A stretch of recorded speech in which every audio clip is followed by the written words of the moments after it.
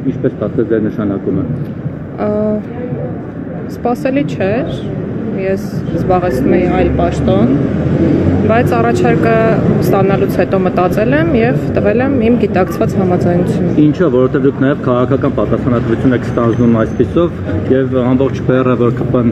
ԿՊ-ի բոլոր այսպես ասած մեղքերն ու պատասխանատվությունը նաեւ ձեր վրա է տեղափոխվելու։ Ես նախկինում այդ բեռը ստանձնած արդեն եղել եմ, երբ հեղափոխությունից հետո զբաղեցրել եմ արդարադատության նախարարի տեղակալի պաշտոնը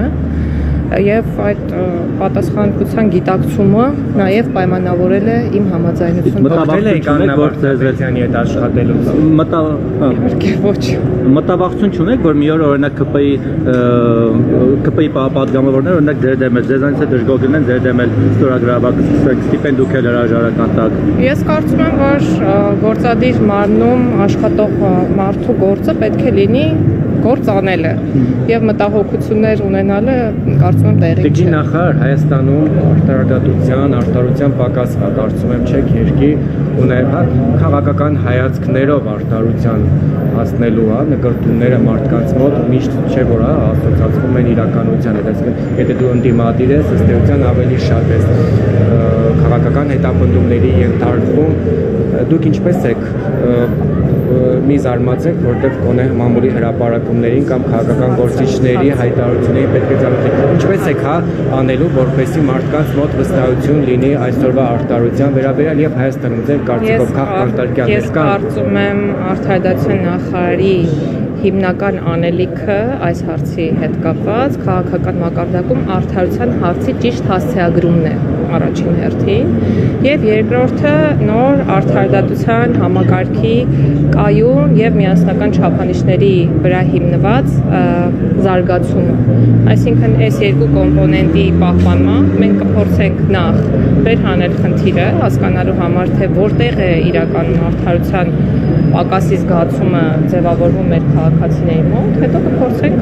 կամած-կամած սաղուն քայլերով լուծել այդ բոլոր խնդիրները։ Բանտարկյաններ կան։ Ոչ։ Թե արդեն ազատվեցին բանտից դրա համար եք ասում ոչ, օրինակ Նարեկ Մալյանն ազատվեց, Արմեն Աշոտյանն ազատվեց, Մամիկոն Ասլանյանը։ Դրա համար չկան։ Ես կարծում եմ, որ բոլոր քրեական գործերը, որոնք հարուցվել են, հարուցվել են կոնկրետ հնարավոր հանցավոր արարքներին որպես հակազդեցություն։ Ձեզ չի կաշկանդի օրինակ, որ քրեական գործերով անցնեք քաղաքացիական պայմանագիր կուսակցության անդամներ, նրանց մտերիմներ։ Այդ հարցը ինձ կարող եք տալ, երբ ես իրավապահ համակարգում աշխատելիս լինեի, բայց հիմա կարծում եմ չեմ առնչվելու նմանատիպ իրավիճակների հետ։ Տիկին Գալյան, դուք ստանձնելով քաղաքական պաշտոն, որտեղ 21 թվականից 20 թվականի պատերազմից հետո դուք դատախազի տեղական եք Երևանում, համակարգում եք ու ավելի չէ դուք պետք է լինեք։ Հիմա արդեն ուղիղ քաղաքական պաշտոն եք զբաղեցնում։ Բոլոր մեղադրանքները, որ օրինակ այս իշխանությունը հանձնեց Արցախը, ճանաչեց Արցախը Ադրբեջանի կազմում, մեղավոր է հազարավոր զոհերի, պատերազմի, Արցախի կորստի եւ մնացած Հայաստանի որոշ տարածքների կորստի մեջ։ Այդ ամեն ինչի պատասխանատվությունը դուք պատասխան եք որպես թիմի անդամ կրել եւ օրինակ համարել, որ այո, եթե վաղը բարձր որ իսկապես նաև իրավաբանորեն այս իշխանությունը այդ բոլոր մեղքերի պատասխանատուն, դուք եք դրա համար պատասխանատվություն կրելու։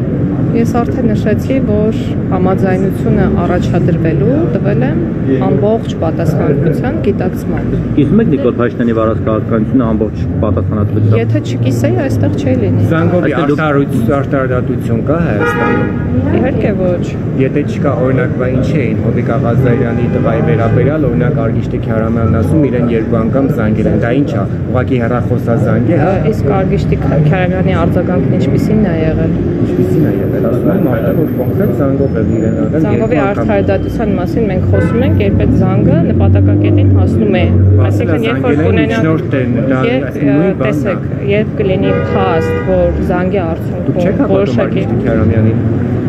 տեսեք, ես արդյունքի վրա հիմնվող մարդ եմ, այսինքն երբ կլինի զանգ, որի հիման վրա կլինի արդարադատություն, կքննարկենք։ Մենք քննչական կոմիտեի նախագահի հայտարարությունը ես նման փաստերի չեմ դիապետում, բայց ես հակառակ բանն եմ ասում։ Խոսվել է զանգի մասին եւ բարձրաձայնվել է զանգի մասին։ Հիմա իմ գնահատականը դրան որը կլինի։ Եթե զանգի մասին բարձրաձայնվել է, կարծում եմ, որ արդարադատությունը այդ ուղղությամբ չի իրականացել։ Այսինքն մենք խոսում ենք իրականում լավ բանի մասին, որ զանգովի արդարադատություն չի գործում մեր երկրում։